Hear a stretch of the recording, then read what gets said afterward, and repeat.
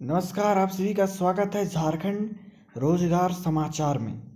तो कल मुख्यमंत्री, माननीय मुख्यमंत्री हेमंत सोरेन ने विधानसभा में अपने बयानों में कहा है, अपने उत्तर में कहा है, विधानसभा में जब चर्चा चल रही थी, उन्होंने कहा कि महोदय, सभी विभाग की हम जो नियमावली है उसको दुरुस्त कर रहे हैं और ऐसा कर रहे हैं कि बाद में कभी सोचना नहीं पड़े।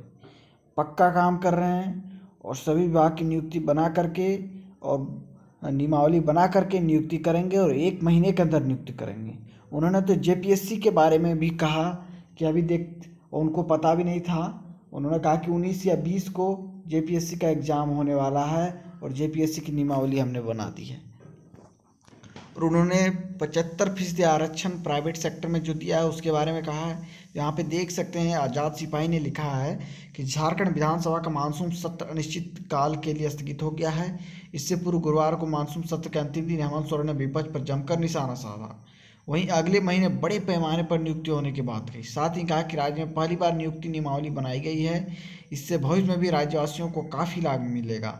गुरुवार को मानसून सत्र के समापन भाषण में हेमंत सोरेन ने विपक्ष पर जमकर निशाना साधा। उन्होंने कहा कि मानसून सत्र में पाँच कार्य दिवस रहे, इसके बावजूद विपक्ष सदन को चलाने में रुचि नहीं दिखाई। उन्होंने भाजपा को निशाना देते हुए कहा कि विपक्ष बार बार कहती है कि राज्य में नियुक्ति नहीं के हो रही, लेकिन स्थिति इसकी ठीक उलट है।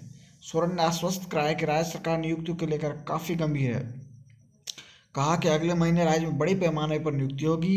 इसके लिए नियुक्ति नियमावली बनाई गई है। नियुक्तियों को लेकर लगातार कार्य हो रहे हैं।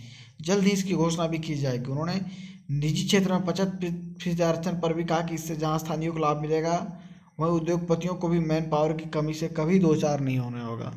साथ ही केंद्र सरकार पर निशाना साधते हुए कहा कि केंद्र के पास झारखंड सरकार का करोड़ों का बकाया है।